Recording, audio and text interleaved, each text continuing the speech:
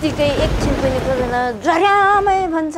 एकछिन पनि बसेन ज्वर्यामै भन्छ त्यत्तिकै त्यो करेन्ट आए जस्तै मलाई टाउकोमा लिएपछि म धलिया पुक्लुकै धले राति सुत्दाखेरि पनि छर्याङ छर्याङ गर्छ आउँछ होला मार्छ होला भन्दै भने बच्चाहरूसँग म त डर लागेर सन श्रीमान मरिहाल्यो झन्डै डर लाग्छ कि चट्याङलाई। चट्याङ त लाग्थ्यो नि लागिरहन्छ त्यो त। तर पड्किया पड्के चाहिँ मान्छे मर्या मरेछ बन्दुकसँग नडराउने भयो तपाईँको यो चट्याङसँग मान्छे डराउने अवस्था आइसकेको अवस्था छ। चट्याङको आवाजले तपाईँलाई कत्तिको तर्साउँछ? चट्याङ पर्दा डढाएको आत्तिएको तर्सिएको सम्झना तपाईँ हामी सबैसँग पक्कै पनि छ। नेपालमा चट्याङ लागेर वर्षेनी सरदर सयजनाभन्दा धेरैको ज्यान गएको सरकारी तथ्याङ्कले देखाउँछ। ढुक्कको आजको अङ्कमा चट्याङका यी विविध पक्षहरूको बारेमा कुरा गर्दैछु म निर्मला लिम्बू। नेपालमा चट्याङमा परेर वर्षेनी सरदर सयजनाको ज्यान जाने गरेको सरकारी तथ्याङ्कले देखाउँछ। दुई हजार अडसठी साल यता देशभरमा दुई हजार चट्याङका घटनामा परेर नौ सय छयानब्बेजनाले ज्यान गुमाए भने तीन गुणा बढी घाइते भएको देखिन्छ। बितेको नौ वर्षमा देशभर चट्याङबाट मृत्यु हुनेहरूको तथ्याङ्क हेर्दा मकानपुर जिल्ला सबैभन्दा अगाडि देखियो। कतिपयले त मकानपुरलाई चट्याङको राजधानी पनि भन्ने गरेका छन्। मकवानपुरको पनि राक्सिराङ गाउँपालिका सबैभन्दा बढी प्रभावित देखिन्छ। कार्यक्रमको सुरुवातमा म तपाईँलाई यो वर्ष चट्याङले धेरै मान्छे घाइते बनाएको गाउँ धिराङ पुर्याउँछु।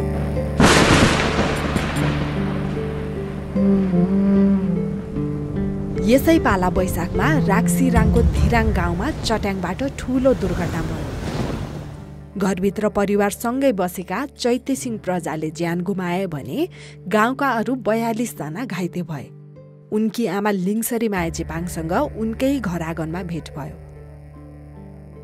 आमा घर चाहिँ यो हो? यो- यो साइरो छोराको घर हो यहाँ अहिले त कोही को को बस्छ? यहाँ को पनि छैन त। चट्याङ त त्यही भित्रैमा जल्न आउँछ पो। त्यो उसमा त तारमा त चरर चरर चरर हुन्छ। त्यसो गरेर अनि साइरा छोरालाई झन् निभायो। हामीहरू चाहिँ त्यही बाँच्यो। बिहुस त भएको हामीहरू पनि। अनि कुन बेला थाहा पाउनुभयो तपाईँहरूले चाहिँ? त्यो बुहारीले भन्नु आयो मऱ्यो है साइला त मऱ्यो है चट्याङले मार्यो है मार्यो भनेर रुनु आयो। आउँदा त बुहारीले चाहिँ त्यता मिर्गायो अरे। अनि छोरा चाहिँ यतै भ्ल्याङ्गै भयो अरे। अनि छोरीहरू चाहिँ नि यतै बाबा बाबा भनेर बस्यो अरे। नातिनीहरूलाई चाहिँ केही भएन? भएन केही पनि भएन नातिनीलाई त। त्यो बुहारीलाई अलिक कता भयो होला अनि त्यहाँदेखि त्यो त काखको नानीलाई अलिक बिहुस भयो अरे। दुध खानु पनि नजान्ने गरे भयो अरे। अनि तपाईँहरूलाई चाहिँ कतिखेरतिर होस आयो? तपाईँ बिहोस हुनुभयो भन्नुभएको थियो। म त त्यो खतेरामा लाउनुलाई तेल लाउनु पर्यो भनेर उभ्याएर बसिरहेको थियो। कहाँको झोर्याम गरेर मेरो आँखा त त्यतिकै तरिमिरी भइसकेको छ्याप्पै म त त्यत्तिकै बसेको। अनि कतिखेर थाहा पाउनुभयो यहाँनिर छोरा बितेको? चोट्याङ परेर एक घन्टामा आएको होला। चोट्याङ पनि एक ताल मात्रै होइन नि। त्यत्तिकै एकछिन पनि बसेन ज्वर्यामै भन्छ एकछिन पनि बसेन ज्वर्यामै भन्छ एकछिन पनि बसेन ज्वर्यामै भन्छ त्यत्तिकै त्यसो गरेर त हामी त लु निस्केर भाग्नुपर्छ कि? क्या हो? यस्तो के भएको? के देखेको यहाँ? भनेर म त डराएर त्यतिकै रुनु पनि मन लाग्यो। पानी पनि चट्याङ पनि त्यो बरस पनि एकैचोटि झु- त्यो सेर सेर भन्ने मात्रै त्यो चट्याङ पनि ज्वार्याम भन्छ एकछिनमा फेरि ज्वार्याम भन्छ त्यत्तिकै त्यसो गरी आएको। के भयो अनि त्यसो त भनेर त्यहाँ माइलालाई बोलाउन गयो। माइला पनि त्यतिकै बिहुस भएर म त सक्दैन भनेर त्यो पनि बस्या रहेछ। काइला छोरा थियो त्यसलाई पनि त्यो पनि बिहुस भएर बस्या रहेछ। सबैको घरमा त्यत्तिकै सबै बिहोस हुने। यहाँ चाहिँ झन् बित्ने। अरू बिहोस? यहाँनिर तपाईँको साइला छोरा चाहिँ बित्नु भएको। बित्यो। यहाँको चाहिँ त्यत्तिकै ब्लन रङ मेरो आएको म त हेरेर आयो हेर्न आएर त के गर्न र? बोल्नु पनि सकिनँ त्यसलाई भन्नु पनि सकिनँ त्यतिकै। अनि घाउ चोट परेको थियो? पऱ्यो अलिअलि त त्यति। यो तपात सबै त्यो आगोले पलेको जस्तो सबै पोलेको नि। ढाडमा पछाडिपट्टि? अँ त्यो साइला छोरालाई त त्यसो गर्यो त्यसो भएको। त्यस्तै हो। अझै यसपालिको चाहिँ यो साइला छोरालाई बेतिएकोदेखि झन् झन् चर्को भएको जस्तो मलाई लाग्यो।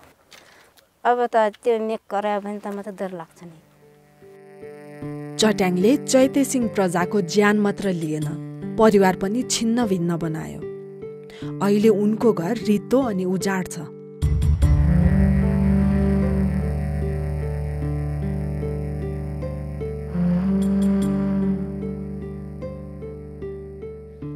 मकानपुरको पश्चिमोत्तर भेकमा पर्ने राक्सिराङ गाउँपालिकामा आदिवासी जनजातिहरू तामाङ र चेपाङ समुदायको बसोबास छ। खास गरी आर्थिक रूपले विपन्न चेपाङ समुदाय वनमै आश्रित छन्। रेखोपाखोमा खेतीपाती र वनको कन्दमूल आम्दानीका प्रमुख स्रोत हुन्। सडकलाई विकासको पर्याय मान्ने हो भने यहाँका गाउँघरमा मोटर बाटो भर्खरै छिचोलिएका छन्। आर्थिक विपन्नता त छँदैछ हरेक साल आइपर्ने चट्याङ लगायतका प्राकृतिक विपत्तिले पनि उनीहरूलाई नै पिर्छ। कहिले मानवीय त कहिले पशु चौपाएको क्षति। गएको वैशाखमा परेको चट्याङबाट घाइते भएकाहरूको अनुभव यस्तो छ। म चाहिँ यो त बसेको। यहाँ बसेको अनि यहाँ खाना बाँधेर सोह्रजना परिवारलाई मैले दिइरहेको थिएँ लास्टमा चाहिँ मै भर्खर सुरु गरेर दुई मुख खाएको थियो। खाइरहेको बेलामा अनि चट्याङ परेर अनि उता त्यो खातको मान्छेलाई पनि भेटिन यो माथिबाट बसेको मान्छेलाई पनि भेटिन यो आगो नजिक नजिक बसेको मान्छेलाई पनि भेटिन अनि उता हाम्रो घरको श्रीमती श्रीमान? अनि छोरा छोरी एउटा? मलाई? अनि एउटा चाहिँ सन्त अङ्कलको बुढीलाई स्वास्नीलाई हामीलाई चाहिँ भेटेको अरूलाई चाहिँ आवासले भेट्यो हामी दुईजना चाहिँ सिधै सिधै पऱ्यो कि? पानी यो ल्यान्डको सिधै सिधै। बत्तीको सिधा मुनि। मुनि। यहाँ फेरि पानी पनि फालेर। ए त्यहाँ पानी पनि। जमेको थियो? अँ कि चिसो चिसो थियो? बाटो हामीलाई टिप्यो होला जस्तो पनि लागेको छ। ए। खाना पनि नखाएको थियो हामी। त्यही गफ गरेर बसिरहेको थियो। अनि हल्का गदङ गुरुङ भन्यो भ्लाट्टै आयो कि। अनि त्यसपछि त्यो सोलरको ब्याट्री चाहिँ पुरै फुटेर फाल्यो। पड्क्यो? अँ पड्क्यो। आफै आफ आफै भ्लाट्टै छैन यस्तो के अरे दुई फाल्के त भएको भयो ब्याट्री त चट्याङ आएपछि मान्छे मार्छ जस्तो लाग्यो मेरो मेरो सोचाइले अनि यस्तो तार काटेर मैले उता घरबाट उता बारतिर फालिदिएँ कि मैले। त्यो यस्तो तार काट्ने कैँची हुन्छ नि। अनि त्यसले छट्ट काटेपछि त अनि के के भयो त्यो चट्याङ चट्याङले? यता मामालाई मार्यो। त घरमा बाह्रवटा बाह्रवटा खसी थियो। बाह्रवटा खसीमा मर्डिङमा एउटा चाहिँ मर्यो। अरू चाहिँ त्यो सामान्य घाइते भयो। म बत्तीको मुनि यस्तै नजिक नजिक सुतिर बसेको थियो अनि चट्याङ कराएपछि दङदङ दङदङ भएपछि म उठेँ। त्यो करन्ट आयो जस्तै मलाई टाउकोमा लिएपछि म धलिएँ पुक्लुकै धलिएपछि म एकछिन बेहोस भएपछि म उठेर अलिक तारा सरेर बसेँ। चट्याङ लागेर घाइते भएकाहरू सबैले बिजुलीलाई दोष दिए। धिराङमा पेल्ट्रिसेटबाट बिजुली बत्ती बालिएको छ। त्यही बिजुलीको तार हुँदै बगेको चट्याङको झड्काले गाउँभरिका मान्छे घाइते भएको उनीहरूको बुझाइ छ। घरभित्रै बिजुली बत्तीको सामुने परेर चट्याङबाट मृत्यु भएका चैते सिंह प्रजाका भाइ बागमती प्रदेश सभा सांसद सन्त बहादुर चेपाङलाई गाउँमै भेट भयो। राखिराङको चाहिँ पहिला साबी काँगड गाविसमा चाहिँ दुईजना मर्या थियो। त्यो चट्याङ लागेर नै यही पेल्ट्रेसेटबाट कोही कारणले भन्ने कुरा छ। के को कारणले? र चट्याङ अनि अहिले चाहिँ फेरि हामीले यो चाहिँ दुई वर्ष भयो यो पेल्ट्रेसेट सञ्चालन गरेको।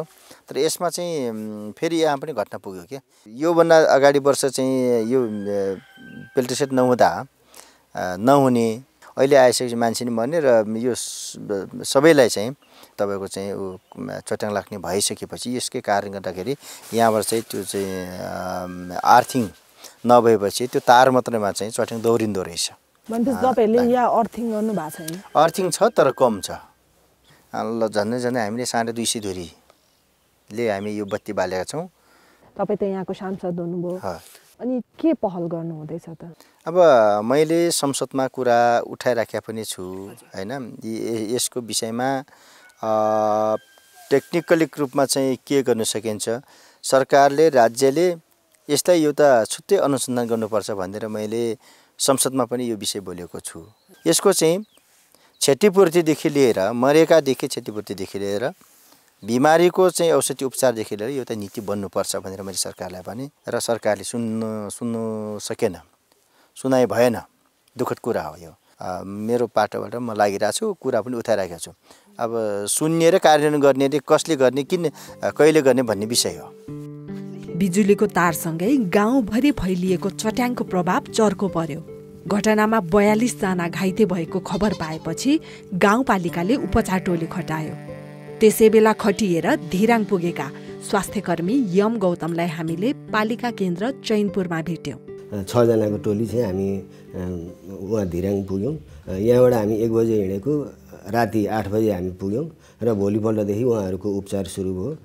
बयालिसजना जतिलाई प्रत्यक्ष रूपले त्यो चट्याङको झड्काले हानेको थियो एकजनाको चाहिँ घटनास्थलमै मृत्यु भयो। बयालिसजना मध्येमा चौबिसजना चाहिँ अलिक गम्भीर प्रकृतिको हुनुहुन्थ्यो। उहाँलाई हामीले विशेष खालको जुन सलाइन लगाएर उपचार गऱ्यौँ र अरू सामान्य उपचार गऱ्यौँ। यो धिराङ जस्तो जस्तै जुन चट्याङको घटना भयो त्यहाँनिर त्यस्तो अरू घटना पनि वर्षेनी हुन्छ यता? वर्षी नै हुन्छ। राक्सिरेङ गाउँपालिकाको वार्ड नम्बर एक दुई तिन अब म बाह्र वर्षदेखि उपचार गर्ने क्रममा प्रत्येक वर्ष यो केसहरू आइरहेको छ। राक्सिराङ लगायत मकवानपुरका विकट पहाडी गाउँहरूमा हरेक वर्ष चट्याङले दुःख दिएका खबर अखबारमा आइरहन्छ। चट्याङ लागेर ज्यानै गुमाएको परिवार घाइते र पशु चौपाएको क्षति बेहोर्नेहरू हरेक गाउँमा भेटिन्छन्। यद्यपि प्रभावितहरूसँग यसबाट बच्ने उपायको बारेमा पर्याप्त ज्ञान छैन। चट्याङले भेटिहालेमा उपचार गर्ने परम्परागत विधिको विकल्प अहिलेलाई छैन। जोगिने उपाय हाम्रो चाहिँ प्रायः जस्तो यता त्यही खरको खरले नै हो। खरले चाहिँ हजुर। त्यसको खर यति निकाल्ने अनि यति निकालेपछि त्यसको के अरे त्यो आगो बाल्ने त्यसको अनि त्यो आगो बालेपछि त्यसको धुवासो निस्किन्छ नि। हो त्यो धुवासो चाहिँ लगाइदिने कि। त्यहाँको एकजना भाइ चाहिँ त्यस्तो गरेर निको भएको छ कि। त्यही दिन। कि? त्यही दिनै हो त्यही दिनै हो। जस्तै त्यो हँसिया हुन्छ। अब त्यो हँसिया समाएर कुनै बस्छ कुनै कोइला समाएर बस्छ। किन कोइला चाहिँ त्यो कोइला समाएको कोइला समायो भने उसले चाहिँ जुन आत्मा कमजोरी हुन्छ त्यसले चाहिँ हल्का हुने अरे। हँसिया चाहिँ? हँसिया पनि त्यही हो अरे। हामी चेपाङ जातिको त्यही आगो फुक्ने फुकेर बस्ने हो। कोही भन्छ खुर्पाहरू बोकेर बस्नुपर्छ भन्छ। फेरि कोही भन्छ खुर्पा चलाउनु हुँदैन है चट्याङ परेको बेलामा त झन् लान्छ खोसेर भन्छ। मैले त्यो चाहिँ थाहा छैन। चट्याङले सातो लिन्छ तर काम नगरी हातमुख जोड्न गाह्रो। काम गर्न निक्लौ ज्यानै जाने पिरोलो। गाउँघरको जनजीवन वस्तुभाउ चराउन लैजानै पर्यो। घाँस दाउरा गर्नै पर्यो। खेतीपातीको लागि पनि बाहिर निस्कनै पर्यो। धिराङबाट फर्कदै गर्दा गाई बस्तु चराउँदै गरेकी तेजी माया चेपाङसँग मेरो भेट भयो। राक्सिराङ सिलिङ्गेकी तेजी माया चेपाङका श्रीमान रणबहादुर प्रजा चार वर्ष अघि यसै गरी गोठालो आएको बेला यही ठाउँमा चट्याङ लागेर बितेका रहेछन्। ए यहाँ नै चरने यहाँ बगर नै हो बगरमा बाख्रा गोरो एक्लै नै आएको बेलामा म चाहिँ घरमा बस्या। नानी बालक थियो। ठिक्क चार बजी टाइममा हानेको। चार बजी टाइममा चट्याङ लागिहाल्यो। अनि छोरा सानो थियो छोरा आयो। घरमा लुतुङ लुतुङ छोरा एउटा बुढा गोरु लिएर आयो। अनि आर्य चाहिँ अगाडि नै गयो। मैले गएर बान्यो। अनि बुवा आएन नि भने मैले छोरालाई। बुवा त बगरतिर त मैले त भेटेन है। मम्मी थाहा छैन बुवा त मलाई त भन्यो। अनि गोरु चराएको मान्छे आएन नि। अब चार बजी टाइममा त चट्याङ धेरै लाग्यो न चट्याङले पो हान्यो बुवालाई भन्यो। अनि त्यहाँदेखि फेरि हेलो फाल्ना त मऱ्यो फाल्नाको श्रीमान त मऱ्यो भनेर खबर हल्का तर्का जम्मै फोन भयो। त्यही भएर आएर हेरेको त सास नै भेटिनँ टिटिक पुग्लो क्यामेरा भइसक्यो। अनि त्यो चट्याङले नै गर्दाखेरि हो भन्ने चाहिँ कसरी थाहा भयो त दिदी? सानो मोबाइल बोकेको थियो। अनि मोबाइल त छाराङ छुरुङ फाक्लाक फुरुङ मोबाइल त छाराबिरा गएछ माटोमा चाहिँ फेरि घुवात्तै माटो नै खनेको जस्तो नै माटो अनि यस्तो योभन्दा त अलिक ठुलो थियो रुख त्यो रुखमा त झ्याम्मै पलाएको थियो कि पात चाहिँ अनि रुखसँग यस्तो यस्तोमा चाहिँ रुख यसा मान्छे बसिरहेको रहेछ रुख चाहिँ टेटिक नै बस्यो रुखको टुप्पाबाट चाहिँ चाहिँ हानिदियो प्लाङ्गै मान्छे चाहिँ यता धलिहाल्यो रुखै यहाँनिर नै थियो अनि मेरो बुढा चाहिँ यहाँ नै मेरो बुढा चाहिँ यहाँनिर नै। यसरी ब्लाङ्गै के अरे खुट्टा चाहिँ यता टाउको चाहिँ यता ब्लाङ्गै यस्तरी ब्लाङ्गै पर्या मर्या यता ब्लाङ्गै नै चट्याङ लाग्ने बित्तिकै रणबहादुर चेपाङ तत्कालै बिते। उनले ओत लागेको करमको रुख चाहिँ केही महिनापछि सुकेर दाउरा बन्यो। त्यसै बेला घटनास्थलमा पुगेर उद्धारमा खटिएका छिमेकी राक्सिराङ गाउँपालिका छका वडा अध्यक्ष सिंहलाल चेपाङलाई पनि यही बगरमा भेट भयो। घोडे चढ्ने क्रममा चाहिँ तपाईँको छाता ओढिरहेको थियो। छाता ओढेर बस्दाखेरि तपाईँको चट्याङले अब तपाईँको ठाउँको ठाउँमै ढाल्यो। अब मोबाइल एकापट्टि मान्छे एकापट्टि अनि म आफै नै त्यहाँ त्यतिखेर त जनप्रतिनिधि भएको थिएन। भनौँ ठ्याक्कै त्यो बन्नुभन्दा अलिकति अगाडि मात्रै हो। पुलिसलाई बोलाएर मनरी इलाका प्रहरीलाई बोलाएर आएर हामी अनुसन्धान सन्धान गऱ्यौँ र तपाईँको रुखको एकापट्टि भएको सबै गएको थियो। मान्छेको चाहिँ एकापट्टि पुरै त्यो पुरै बारुदले हाने जस्तै पुरै एकापट्टि पुरै पुरै डढिएको थियो। कपडाहरूमा चाहिँ बिचबिचमा कोही कोही ठाउँमा तपाईँको आगो सल्किएको जस्तै पुरै पुरै दङदङ थियो तपाईँको त्यो के अरे बारुद नै गन्ध आइरहेको थियो कि? शरीरभरि थियो बा बारुद। त्यो रुख पनि छेउमा रुख रुख पनि थियो तर रुखको आधी भाग तपाईँको हाँगा पनि तपाईँको पुरै त्यो आगोले डढ्या जस्तो। डढाइदिएको थियो। रुख चाहिँ तपाईँको त्यो पछि त्यो चट्याङ लागिसकेपछि त्यो सुक्यो सुकिसकेपछि त्यो यहाँ किसानले ढालिदियो त्यसलाई चाहिँ। चट्याङ लागेर श्रीमान बितेपछि तेजीमाया आफै गोठालो जान्छन्। तर जब आकाशमा गडाङगुडुङ सुरु हुन्छ उनको मनमा डरको मात्रा बढ्दै जान्छ। वनमा हुँदा पनि घरभित्र भए पनि। मेरो श्रीमान पनि किसाने गाई बस्छ चराउने गोथा लान्थ्यो हामी श्रीमान गयो हामी फेरि गोथा लाने हो। त्यही राति राति सुत्दाखेरि पनि छर्याङ छर्याङ गर्छ आफै आउँछ होला मर्छ होला भन्दै भन्दै बच्चाहरूसँग म त डर लागेर झन् श्रीमान मरिहाल्यो झन्ले डर लाग्छ कि चट्याङलाई? लाग्छ चट्याङ त। अब यहाँ त अधिकांश मान्छेहरू अब किसान तपाईँको बाख्रा पाल्नै पऱ्यो अब गोरे चढाउनै पऱ्यो अब कतिखेर चट्याङ लाग्छ र कतिखेर पानी पर्छ भन्ने त थाहा हुँदैन। चट्याङको समय भनेको चाहिँ अब हामी यो फागुन महिना फागुन चैत बजीदेखि सुरु हुन्छ। यो भदौसम्म चाहिँ एकदमै डर। किनकि अब पानी गाडाङगुड आउने बित्तिकै अब घरै छोड्नुपर्ने हो कि? यो प्राकृतिक कुरासँग अब हामी अब के चाहिँ भन्ने हो र? मेरो ओडामा तपाईँको सातजना जति मान्छे चट्याङले मरिसकेको अवस्था छ। यो छ सात वर्षको अन्तरालमा यत्रो मान्छे मऱ्यो जो कि तपाईँको पेल्टिसेट सुरु भयो त्यहाँदेखि मान्छे मर्न सुरु भयो। यो यो ठाउँमा चाहिँ तपाईँको यो पेल्टिसेटको विरोधी भइसकेको छ मान्छेहरू। पड्क्या पड्के चाहिँ मान्छे मर्या मरेछ बन्दुकसँग नडराउने भयो तपाईँको यो चट्याङसँग मान्छे डराउने अवस्था आइसकेको अवस्था छ। गएको नौ वर्षमा चट्याङले गर्दा मकनपुरमा चैतेसिंह चिपाङ र रणबहादुर प्रजा जस्ता पचहत्तर जनाले ज्यान गुमाएका छन् भने तीन गुणा बढी घाइते भएको देखिन्छ। चट्याङबाट हुने यति धेरै जनधनको क्षति कम गर्न स्थानीय सरकार राक्सिराङ गाउँपालिकाले चाहिँ के गरिरहेको छ त? अब यो समस्याको पहल चाहिँ त्यसको विज्ञ कहाँ छ भन्ने कुरो म पनि खोजिरहेको छु त्यसको रिसर्चमा छु। होइन? त्यो भ्याउने साथै उहाँलाई लगेर मैले चाहिँ कार्यपालिकाको बैठकमा राखेर त्यसको यो कारणले चट्याङमा हान्छ यसको निराकरण यो गर्ने भन्ने कुरो पत्ता लगाउने साथै मैले आफ्नो साधन स्रोतको दुई चार लाख रुपियाँले हुने गाउँपालिकामा के नै स्रोत हुन्छ र। त्यो पनि सङ्घीय सरकारले अनुदानमा दिएको चिज हो। अब हामीहरूले ओडा कार्यालय मार्फत जस्तै हजुरहरू पुगेको ठाउँ मेरो राक्सिराङको धिराङ सबैभन्दा विकट क्षेत्र चेपाङको बाहुल्यता क्षेत्र।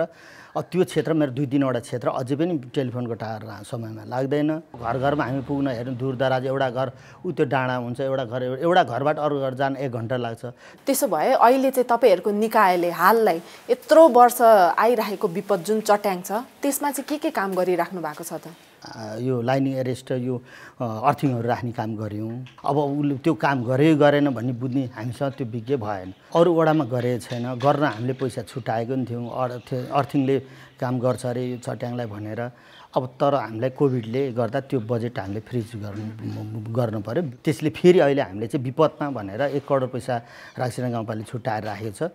त्यसबाट चाहिँ अब यो साल चाहिँ हामी त्यस्तो विज्ञ भेटेमा चाहिँ हामीले ट्रेनिङ र तालिम पनि लिने हामी सबै कार्यपालिका वडा अध्यक्ष लगायत सबैले त्यसपछि गाउँ गाउँमा जनचेतना जगाउने त्यसपछि हामीले अर्थिङ राख्न सक्ने भए सय घरलाई प्रभावित गर्न सकिन्छ। सके गाउँपालिकाभरलाई कति लाख लाग्ने कति करोड लाग्छ त्यो पनि त्यो डिजाइनिङ गर्नलाई हामी खोजीमै छौँ।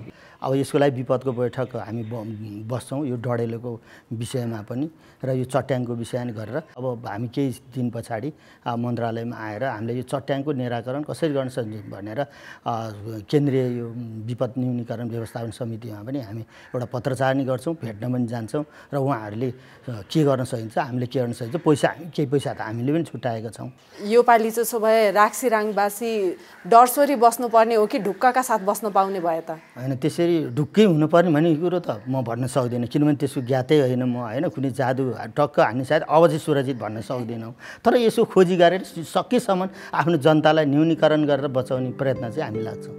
दुई हजार अडसठी साल यता देशभरमा दुई हजार चट्याङका घटनामा परेर नौ सय छयानब्बेजनाले ज्यान गुमाए भने तिन गुणा बढी घाइते भएको देखिन्छ। वर्षेनी सयौँको ज्यान लैजाने चट्याङ खासमा के हो? यसलाई सजिलोसँग बुझ्न र यसबाट जोगिन के गर्नुपर्छ? हाम्रो प्रश्न चट्याङ विज्ञ श्रीराम शर्मालाई। चट्याङलाई सामान्य भाषामा बुझ्दाखेरि यो विद्युतीय करेन्ट हो। विद्युतीय करेन्टलाई हामीले चाहिँ एउटा तार मार्फत बगाउँछौँ धातुको तार मार्फत तामाको होला एल्युमिनियमको तार मार्फत बगाउँछौँ। चट्याङ चाहिँ वास्तवमा चट्याङबाट बग्ने करेन्ट चट्याङमा बग्ने करेन्ट भनौँ त्यो चाहिँ बादलदेखि बादलभित्रै अथवा बादलदेखि जमिनसम्म चाहिँ यो हाम्रो वायुमण्डलमै बगेर आउने ठुलो मात्राको विद्युतीय चार्ज हो। चार्ज बग्नु भनेको करेन्ट उत्पन्न हुनु हो। हामीलाई चाहिँ समस्या पार्ने चट्याङ भनेको बादलदेखि जमिनमा बग्ने विद्युतीय ठुलो मात्राको करेन्ट हो। यो जस्तै सामान्यतया गाउँमा गाउँघरमा अब त्यही मकवानपुरकै धिराङमा पनि यसो गाउँघरहरू हेऱ्यौँ हामीले। प्रायः जसो घर ढुङ्गा माटोकै हुन्छ। अब त्यस्तो घरहरूलाई चाहिँ चट्याङ प्रतिरोधी बनाउन सकिन्छ कि सकिँदैन सर? प्रतिरक्षी भनौँ घरहरूबाट चाहिँ प्रतिरक्षी सामग्रीहरू जडान गऱ्यौँ भने सकिन्छ सक्नुपर्छ। सर यो जस्तै अब यो चट्याङबाट बस्ने उपाय घरभित्र हुँदा के गर्न सकिन्छ र बाहिर हुँदा के गर्न सकिन्छ त? पहिलो कुरो त अब घरलाई हामीले सुरक्षित मान्नु पऱ्यो है? केही न केही जडान गर्नै पऱ्यो त्यसको लागि। अब घर बाहिर रहँदाखेरि सुरक्षित स्थानमा जाने पहिलो प्रमुख आवश्यकता हो। दोस्रो चाहिँ यदि तपाईँ जङ्गलमा हुनुहुन्छ र घरभित्र जान सक्ने अवस्था छैन भने ससाना रुखहरू ठुलो रुखको मुनि त जानु भएन। बाहिर हुँदाखेरि ओत लाग्नु भएन ठुलो रुखको। तर ससाना रुखहरूलाई समान दूरी बनाएर बिचतिर बस्यो भने चाहिँ धेरै हदसम्म हामी जोगिन सक्छौँ। र भिडभाडमा बाहिर पनि छौँ भने भिडभाडबाट भरसक अलग हुनुपर्छ जस्तै कहीँ मेला लागेको छ गडाङगुड लाग्यो भने त्यो भिडभाडमा बस्नु हुँदैन। र गाई बस्तुहरूको बिचमा पनि आफू भरसक भनौँ न बेलुका कहिलेकाहीँ गाई बस्तुसँग परियो भने गाई बस्तु थोरै टाढा बस्नु राम्रो हो। र गाईबस्तु र आफू पनि भरसक पहिलो प्रायोरिटी चाहिँ घरभित्र सुरक्षित स्थानमै जाने हो। र घरभित्र रहँदाखेरि चाहिँ तपाईँको यो चट्याङ घरमै पर्नु पर्दैन। दुई चार किलोमिटर दस किलोमिटर टाढा पर्दाखेरि पनि त्यसबाट बगेर आउने करेन्टको कारणले हाम्रा विद्युतीय सामग्रीहरू जान सक्छन्। र त्यसबाट भनौँ हामीलाई पनि मानवीय क्षति पनि हुनसक्ने हुनाले घरभित्र बस्दाखेरि झ्यालडोका राम्रोसँग लगाउने झ्यालडोखा वाल भनौँ भित्तादेखि टाढै बिचतिर कोठाको बिचतिर बस्ने टेलिभिजनहरू बन्द गर्ने इलेक्ट्रोनिक इलेक्ट्रिकल आइटमहरू चाहिँ बन्द गर्ने सोझै धाराबाट नुहाउने धुने काम पनि नगर्ने गडाङगुडुङको बेलामा बरु बाल्टीमा थापेर नुहाउनु धुन चाहिँ हुन्छ तर सोझै धारामा नुहाउनु हुँदैन किनभने धाराबाट पनि करेन्ट आउन सक्छ मान्छे त्यसबाट पनि जान सक्छ। सँगसँगै तपाईँको यो हामीले टेलिफोन होइन अब काम छैन बसेर टेलिफोन गरौँ बात मारौँ भनेर तारवाला टेलिफोनबाट पनि तार कम्युनिकेसन नगर्ने। त्यो गऱ्यो भने कहिलेकाहीँ टेलिफोनमा कुरा गर्दा गर्दै मरेका भनौँ एक्सिडेन्ट भएर चट्याङ परेर भएको पनि समाचार हामी प्रशस्त सुन्छौँ। त्यसले गर्दा विद्युतीय सामग्रीहरू भर्छ कि? इभन मोबाइल पनि हामी सुझाव दिँदैनौँ कि मोबाइल खेलेर बस्नु अथवा मोबाइलमा गफ गर्नुहोस्। अन्तिम इमर्जेन्सीमा मात्रै मोबाइल चलाउने हो नभए त्यो पनि गर्नु हुँदैन। घरभित्र रहँदाखेरिको अवस्थामा। ढुक्कको आजको अङ्कमा चट्याङ प्रभावितदेखि विज्ञसम्मको कुरा सुन्यो चट्याङबाट बस्ने उपायहरू पनि थाहा पाइयो। विज्ञले सुझाएका ती उपायहरू मनमा राख्न सके त आउँदा दिनहरूमा चट्याङ पर्दाखेरि ढुक्क भएर बस्न सकिन्छ कि? तपाईँले पठाउनु भएको सल्लाह र सुझावहरू हामीले पाइरहेका छौँ र अझै पनि लेख्दै गर्नुहोला। आजको लागि भने हामी ढुक्क टोलीलाई बिदा दिनुहोस्। नमस्कार।